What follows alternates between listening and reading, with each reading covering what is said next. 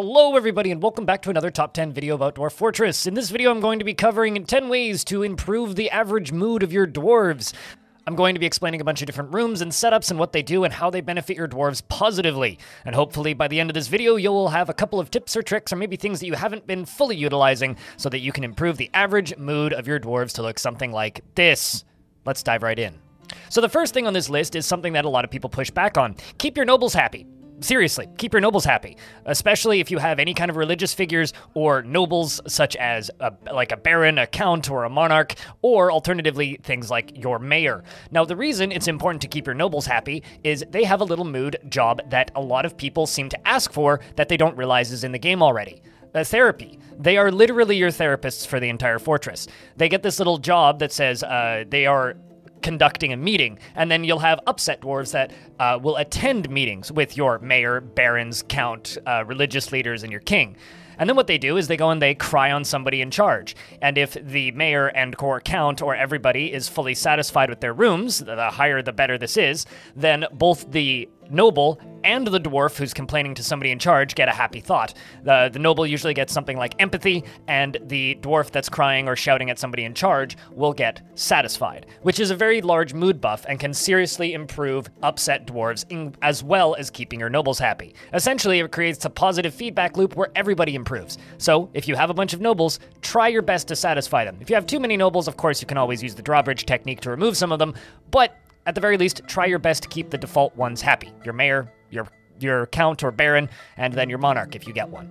My second tip for this video is food and booze variety. Now, sometimes you'll see a dwarf that's upset that, and you look at their recent thoughts and they say, upset after consuming the same old booze, or an uninteresting meal. This usually means that they're eating uncooked meals and probably they've only had one type of booze to drink for a long time. Now, the, a good way to do this is if you notice that you have a very large surplus of a very specific type of booze, either trade with some elves and, or humans and import a bunch of uh, vegetable variety, harvest a bunch of stuff from the surface using the uh, harvesting tool, or alternatively, forbid a specific type of uh, food ingredient or brewing ingredient that you have too much of. So let's just say you have 2,000 some odd plump helmet wine. Maybe it's time to forbid those plump helmets from brewing for a little bit and get those dwarves to make something a little bit different, just so that the average dwarf is grabbing, let's say, raspberry wine or cherry wine instead of uh, plump helmet wine. Second thing is food variety, and this is exactly the same. So if you're making meals and you're noticing that you have a whole lot of one particular type of meal, maybe it's time to make soap out of all of that tallow and get them using something different. Because, you know, maybe a dwarf really wants to eat lungs from a llama specifically, or alternatively wants to eat something a little bit different. They like food variety, so make sure that your kitchens are cooking vari- a variety. Every now and again, check the stocks screen and see what you have a surplus of, and maybe forbid that thing so they cook a little bit less for a while. The next one is temples, specific deities and otherwise. So temples, uh, by default, you can make zones, and you can set them as temples. Now, dwarves, at the very least, require a temple uh, dedicated to no particular deity. My favorite strat is to simply make a big, nice room that's well appointed, then assign it with a zone to no particular deity, and then a bunch of small zones to every other deity that has worshippers in the fortress. These act as socializing zones, which are very important, which we'll discuss in a minute. And they also act as places for dwarves to meditate and pray. Now, if you get particular religions forming in your fortress, they will demand a temple dedicated to a specific religion of a specific god. When you get these demands, satisfy them as soon as possible, similar to uh, when you're building a guild hall, and then appoint a priest. This also acts similarly as the nobles that we spoke earlier about, where upset dwarves will go and cry on somebody in charge in the temple, and this keeps your priest and those upset dwarves happier. As well as allowing your dwarves to perform specific rituals to that god, giving them an even better thought than they would otherwise in a generic temple. The next one is taverns and dining halls and the need for social time. I see a lot of people complaining that in Dwarf Fortress, uh, taverns and dining halls uh, kind of just do nothing. Well, uh, or even worse, stop their dwarves from working. This actually is very much not the case. One of the most important jobs for dwarves in Dwarf Fortress, this is a job, is socializing. They spend time with other dwarves, they spend time with family, they meet friends, they meet their spouses, and they hang out. This is one of the po- most positive and fastest ways to increase the general overall mood of your fortress. It's just simply building a tavern. Be a little bit careful with tavern keepers, as while they do provide even more emotional support, they can also make the dwarves a little bit too emotionally happy, which can cause fights. So be a little bit careful with the amount of alcohol alcohol being served if you do have tavern keepers. Of course, performers and other dwarves uh, will come into the fortress and uh, entertain your visitors uh, uh, and your dwarves, which is a really good thing to have. But be a little bit wary about outsiders coming into your tavern as they may bring wareisms. So it might also be a good idea to simply set them to not public and just let your dwarves do the entertaining themselves. They're quite good at it. The next thing I want to note is you may notice in this in the footage in the background I have some dining halls scattered throughout this. Now, dining halls, some I've had some people ask if they do anything. Well, they just simply give a different thought. So if a dwarf goes into a tavern, grabs some food, runs to the near dining hall, which is in the middle of the tavern, a big table, and they sit down they eat, they get a separate happy thought for sitting in a dining hall.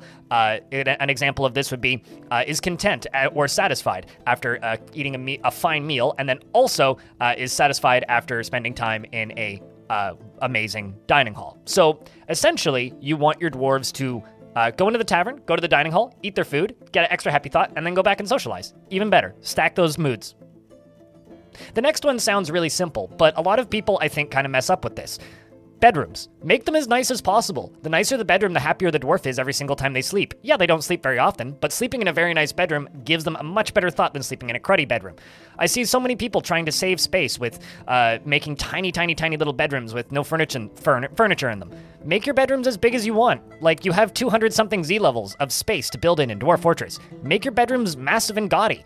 The dwarves love them. Or construct them entirely out of materials because that just inflates the value. Number six on my list is a little bit, you know, controversial potentially. Children. Now, I always see all over the internet people screaming about how children are constantly tantruming and becoming little, uh, you know, Jack the Rippers, for lack of a better term. In reality, children have a very simple little behavior in this game. They grab an item, they haul an item, assuming you have chores enabled, and then they play, make believe, for a little bit before they then grab another job and move to their next location. So you want to make sure that whatever your children are doing, they're not going to places that are uh, catastrophically mentally destructive. So ideally, you want them to be staying out of battlefields, you want them to be staying out of your corpse piles, and you don't really want them hauling refuse. So if you go into the chores screen, you can remove these jobs, and this will permit them to just simply play, haul items as needed, and get their happy thoughts without also mentally destroying them because they just hauled an 18th dead puppy. Also worth noting, if you have particularly upset dwarves, over here on the left side of the chores screen, you can specifically remove certain dwarves from chores. So if you have, let's just say, a dozen children, and 10 of them are pretty okay doing the chores, and two of them are really upset, maybe it's time to remove those two, two from chores and allow them to go get some respite. It's also worth noting, making a bunch of toys is good for them as well. Put a stockpile of toys in the tavern, and uh, the kids will be quite happy. The next thing I want to talk about is guilds. I do have videos on how to do many of these subjects in the description, so I will be linking all of the relative tutor relevant tutorials down in the description of this video. So if you're like, man, I want to see a more detailed video on that, check out the description of this video. But uh, next thing I'm going to be talking about is guilds. Now, guilds are my personal favorite place to put stockpiles of toys, just for reference, and guilds are super helpful because in Dwarf Fortress, one of the biggest traps that people fall into is overproducing certain items. This goes for craft dwarves, uh, and this goes for all sorts of other jobs that dwarves need to learn. Now, if you want to get the happy thoughts out of producing items while also getting social time without actually uh, overproducing in your fortress, a really, really good tip here is to just build a lot of guild halls, regardless of whether or not they demand them, and then satisfy the 2,000 value. It's quite easy to do. Once you build out these guild halls, any dwarf that is skilled in that skill can organize uh, lessons, essentially, and they will actually go and teach classes in the guild halls. If they're public, sometimes you'll even get adventurers from outside of your fortress coming to teach classes. And this uh, allows dwarves of a certain skill type to congregate and learn this skill without actually having to practice it, meaning instead of you needing to massively overproduce certain items or alternatively build huge farm fields or massive crafting setups or huge clothing setups, uh, sim- dwarves will simply train and get the same thought of producing the item without actually producing the item. One of the best ways to train a particular dwarf as well as improve their overall mood. The next one is small, but also worth noting. If you place a bunch of statues in an area and then you put a meeting zone on top of it, dwarves who stand in that meeting zone will admire the statues. This also goes for most other types of furniture, as well as pedestals with art on them. If those items are in a zone, then dwarves can get the thought of uh, feels in awe after seeing a tastefully arranged insert item here. This also is a very happy thought that I don't see a lot of people utilizing. And it's quite easy to implement. Just place a bunch of statues down, throw a couple pedestals, put a couple gems on them, and then place a meeting zone on top of it. Dwarves will hang out there, they'll sometimes talk, and they will also admire art. Now, the next one I want to talk about is libraries. Now, libraries are great, but they're also kind of specific. They specifically uh, satisfy the need for learning as well as uh, wandering and uh, the need to like uh, like uh, learn and think about things. Uh, there are certain types of dwarves that are almost impossible to please unless you make them into a scholar. Scholars go and ponder different things and will either just stack positive moods repeatedly on top of each other, or uh, will slowly fall into stress, having to ponder things all the time and focus on uh, that kind of academics. But if you find a dwarf that just can't be helped in almost any way, it might be time to just assign them as a scholar. Maybe they just want to go think and learn and study. Maybe they're a professional student and they'll become very good at it and then write you some books later down the line. If you want a tutorial for books, links in the description. And the last one on this list is mist generators. Now, if all else fails and you are incapable of keeping your fortress happy, one of the best ways to do this is simply build some mist generators. Now, I know that dwarves don't like being rained on, however, they love the mist of being near a waterfall. They absolutely love it. It's kind of like, you know, if you go spend some time in the desert, there's just nothing better than just a little spritz bottle with some water on it. It's like, ah, keep that skin moist. And that's essentially all you're doing here. You are uh, breaking all of that dirt off of them without actually uh, giving them a bath and uh, that's another way is just build wells. I will sneak that in as a bonus. Build wells and make soap, and then they get soapy baths, and they get very happy. But seriously, mist generators are a very, very, very good way of just like forcing your entire fortress into happiness in a very short period of time. Also, there's a tutorial for soap uh, in the description of this video if you want more information on the soap and wells, as well as how to make mist generators.